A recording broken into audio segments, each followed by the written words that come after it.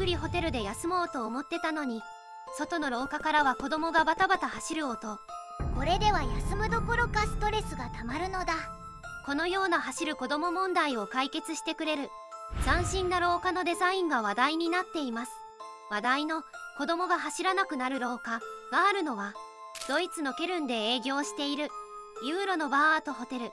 客室も風変わりなデザインが採用された。奇抜な4つ星ホテルなんですがその廊下がこちらです。こんなデコボコで大丈夫なのか？もちろん大丈夫です。実はこれは作詞でデコボコに見えるデザインのカーペットを敷いているからなんです。そうだったのか。実際には平面なので歩くのも走るのも問題ないのですが実際に廊下に立つと多くの人は足がすくんで走ることができないそうです